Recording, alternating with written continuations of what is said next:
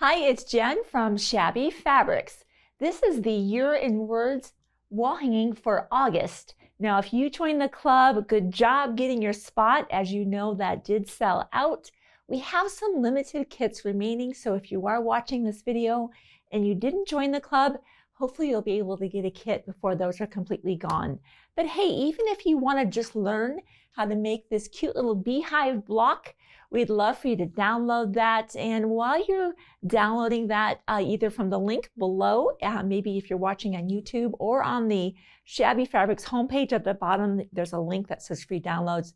There's so much more to download, more projects, DIY, um, and fun tutorials. So be sure to subscribe um, to our YouTube channel, all of our social media, and of course, email as well, because that's when we let you know about new kits, new projects, and of course, new clubs, just like a year in words. So for this block, there's a lot of pieces. And so for this time, um, I labeled everything. Some of the pieces were very similar in size. And I have found before when I've done projects that I didn't label them, I sometimes sewed the wrong piece to uh, various parts and ended up doing some seam ripping. So this was one that had enough parts, enough pieces that I felt labeling was going to help me be successful and might be something you might consider as well. Just like we've been doing for the other Year in Words wall hangings, of course, we start off with our background fabric and we're cutting our main piece that we'll be using for our applique background. And that's where we, we use our light box and the applique pressing sheet if you need to, to go ahead and applique those shapes down. And as always, we're using that applique uh, thread set that we'd put together for the in Words Club to stitch everything down. Our focus for today, of course, will be though on how do we put together this cute little beehive block. And you can see it'd be fun to incorporate that maybe into another project besides a wall hanging. So as I mentioned, lots of little pieces. And let me just jump forward into that. And then at the very end of the video, we'll talk about a little bit of that hand embroidery we did here in case that's new to you. I'll show you how fun and easy that is to do that running stitch. So uh, looking inside um, this pattern if you're in the club or maybe the free download if you're just going to be downloading that. As you can see, I've labeled all of my pieces and we're doing a lot of uh, what we call snowballing the corners. It's just a term that is used in quilting. So let me just bring out uh, some of the stuff I've done ahead of time. This is labeled, so I just confirm I've got everything in the right location. And granted, these are shown as triangles, but they start off as squares. And as you'll see, once we sew those, put that aside. So this is all we've done here, as we've just put these in the corners. We've drawn the line. You've seen us do that before. Put that right there. So if that's new to you, and by the way, we started this series many months back. Be sure to go back and you're going to see a lot of those other steps in more detail about how to do the applique and various steps of doing uh, the Year Words wall hangings. So you just draw the line just like that. Sew on the line. I wanted to save us a little bit of time, so I've done that ahead of time. And I don't clip off this excess until I've pressed everything out and away from my center to make sure I'm happy with what I've done. If I'm not happy with that, I just seam rip and start again and we'll just press those to the outside. And that's how we're getting that look that's shown here with those triangles in the corner. So that's called snowballing a block. And I'm just going to continue to press those other ones to the outside and we'll trim those up. This is where, you know, anytime while I'm pressing this, I'll just give you some of my thoughts about blocks like this. Anytime I'm dealing with a lot of pieces and they're small, a lot of things come into play. Adding some sizing to your fabric is always great. It reduces the stretching and it increases your accuracy when you're pressing because it kind of stabilizes that fabric. It also tells me I need a fresh rotary blade in my rotary cutter because the cuts all matter because they're so tiny. Um, and of course, an accurate quarter inch seam allowance. So now that I'm happy with what I'm seeing, I feel like we've done a good job of snowballing those corners. We'll just go back and trim all of those away, which I'll do real quick. And then we'll move on to the next step of assembling our uh, beehive block.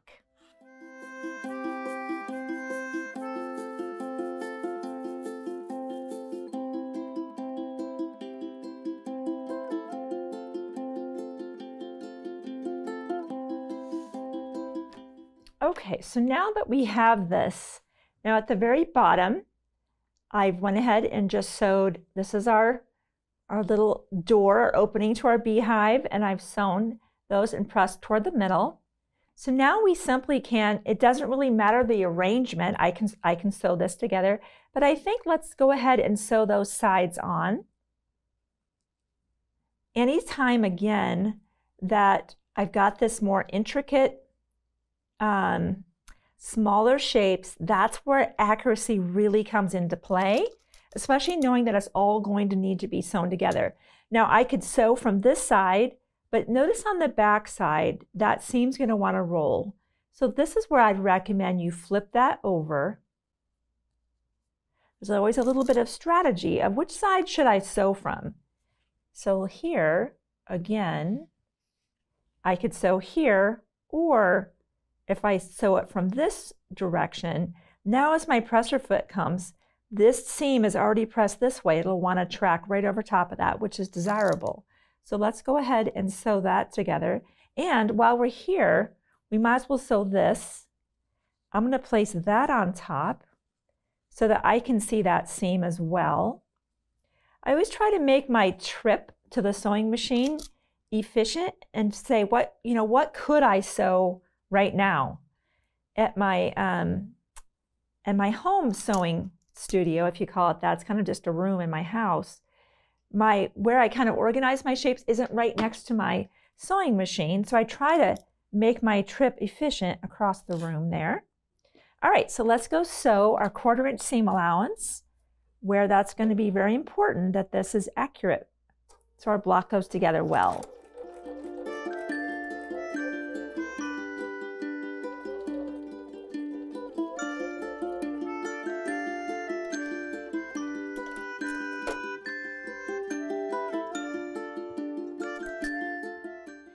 Know, patchwork pins, that's what I'm using right now.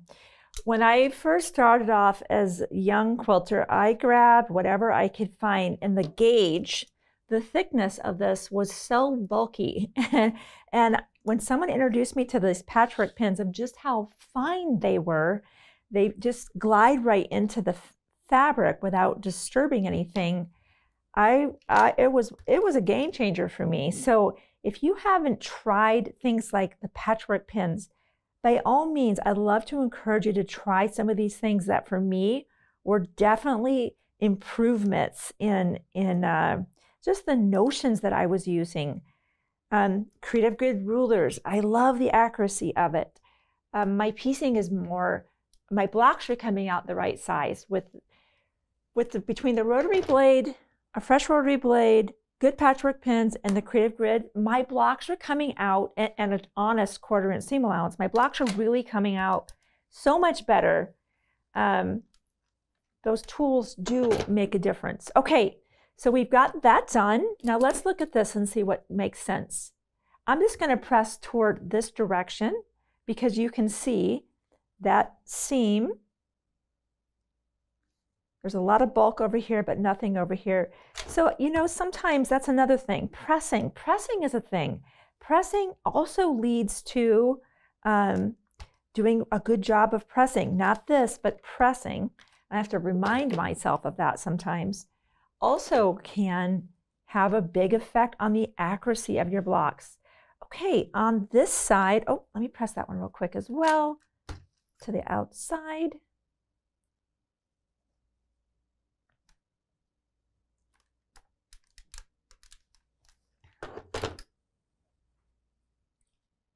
So now we need to do the same on these two sides. Let's have a look at that. I too, I, on this one, on this side, I want to point so, something out to you. On this side, as I look, see how that's folded this way? Therefore, on this side, I'm going to sew on the blue side, not the other side. Because I always want to, I don't want my seam this way coming toward my presser foot, especially if it's on the bottom because it can roll and I don't want that to happen. So let me set that up. Same with this one. I'm going to sew on this side So that is traveling in the direction that I'm moving in, and I won't have a rolled seam on that one either. So let's go sew those together.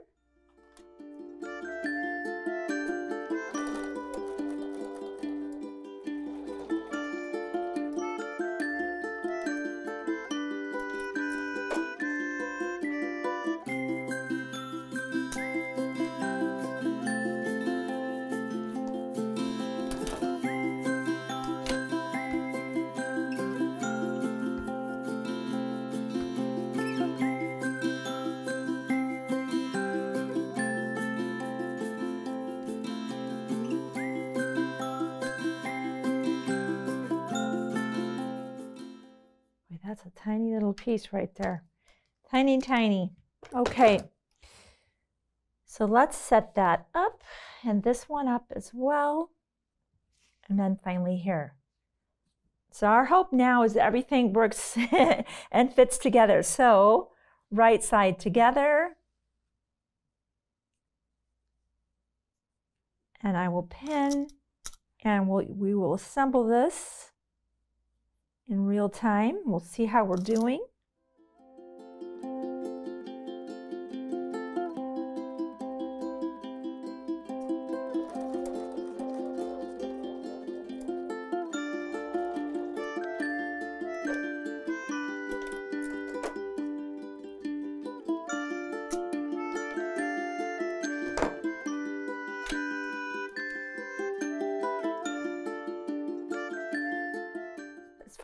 Pressing things like that, you know, if you feel that your block is wanting to, to press in a certain direction, you can go with that.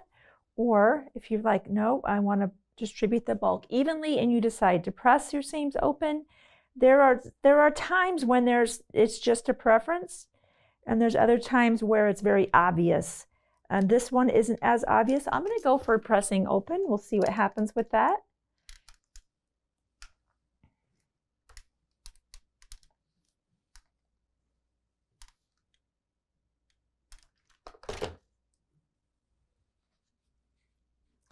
And then we'll sew these together.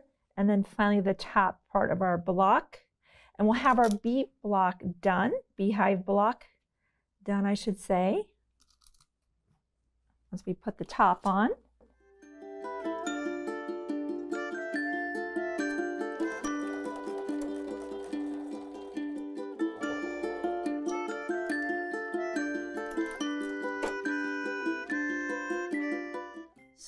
we press that open again? I think that worked pretty well.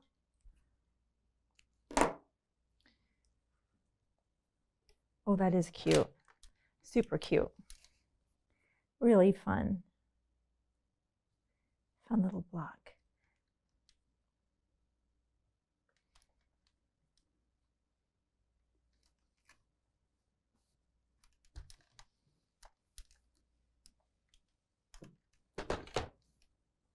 And let's sew that top on. I will sew from here because I want to see all those seams, make sure I am not getting any rolled seams.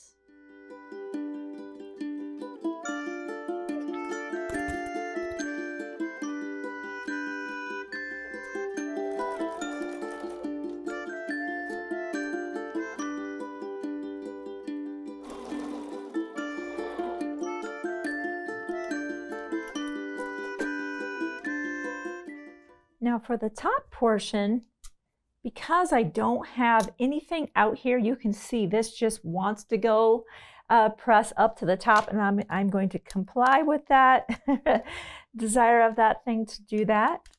And there's our block. How cute is that? And of course, if you didn't need that big of a, a the upper portion for that, we did that so it would marry up with the size of the applique. You could just cut that down so that it's a little bit narrow, whatever that would be for you for your project. So that's how we would put together our little block there. Again, all of those tools are really helpful. And of course, labeling everything so things are going together in the proper location. So let me set that aside and let's go ahead and move on to once you, uh, of course, complete all of those um, beehives, you'd sew those together And then with this as well, you're putting your applique, and really you'd be using the applique uh, pressing sheet maybe to pre-assemble your little bees here. Maybe not as big of a need for the applique pressing uh, mat on this one, but it sure is nice to be able to bring out the light box and you can use your diagrams to uh, draw the line for the bees trail. We have a solid line there, so if you want to have that bee just a solid line, you can. Or if you like that kind of more dash running stitch, you can just draw a, a kind of a tick every so often. And again, I encourage you to do that with a friction pen so that if you're just slightly off on your hand embroidery, you can iron that away. So once we have our fabric, I'll just grab some of that. Um, I can actually do that on here. It's a little bit easier for me to manage that. I'm just going to draw the line where we might have our little trail. And if you want to draw just the skip like that, which is helpful, me just draw that in there. I encourage you to use um, the Richard Hemming size 4 needles are super affordable. They're just a couple dollars. Two strands of the embroidery floss, you have that included in your kit there um, if you're getting the kit. I just put a knot in the end and it's a very straightforward stitch. You're just coming up and it's just, you're covering the line that you've drawn. It's about as simple as of a stitch as it could possibly be. And then you're just coming up in the next location and covering that line. Super easy. I think one of the things about um, the running stitch is because there's less stitch in the fabric. It's like where do you where do you tie off um, on the back without it showing? So I'll show you that kind of how I manage that. What you might want to do is kind of plan your stitch. Uh, just move that quick. Plan your stitch so that maybe you're going to start it here and end it so that you can tie off behind the B, right? You just don't want to start it somewhere in the middle. Start it either down here and finish here or start here and finish at the bottom so that if you do tie off, you can hide that in the binding or you can hide that behind the B. But um, if you if you ever do a running stitch, maybe just somewhere along the bottom of a towel on a project and you you don't have anything to you know kind of hide behind, the best way to tie off a running stitch, and that's what that running stitch looks like, is to just kind of tie back beneath where you just stitched, where you just came from. And the trick is to not pull too tight that you create a pucker on the front. That's the only thing. If you are going to tie off into the stitches themselves, you have to go very shallow on the back. And then notice how you just kind of, you're just wanting to create that little knot, but not create a pucker on the front, just like that. And then you'll just trim that away. So that's a running stitch, super simple. As far as on the bee itself, if you wanted to add little antennas, maybe um, this is like a bonus. If you wanted to add some French knots, I'm just going to show you that real quick. That's not drawn in our patterns. I know some people love little French knots to add that little detail, maybe inside their, for their bee. You would just come up. Again, this is not in the pattern, but in case you want to add that detail, just come up, two strands to the side, Needles horizontal. I wrap around one, two, maybe three times. Go back down inside the very place I came up.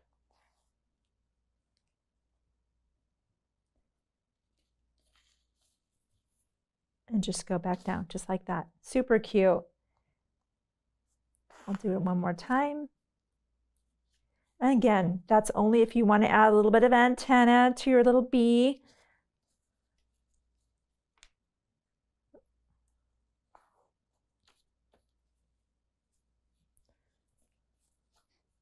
And that's it. And then you just tie off just like you did before, tying off within itself. So as you can see, it's pretty fun to make the beehive block and fun little simple hand embroidery just adds a sweet little touch So, hey, if you haven't already subscribed, like I mentioned, be sure to do that so you don't miss out.